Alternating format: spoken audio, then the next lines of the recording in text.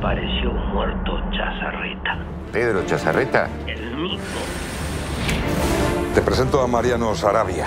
Es el nuevo encargado de policiales. ¿Qué hacía aquí, Betiú? Me convocó Rinaldi para escribir sobre el caso Chazarreta. Es como estar dentro de una novela tuya, esto. Que cualquiera decir. No.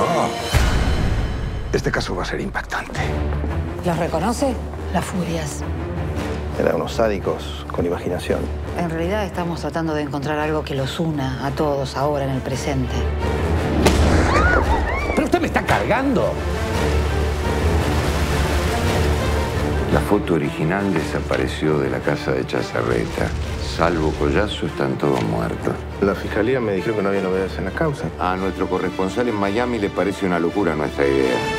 Hay algo que se nos está escapando, no sé.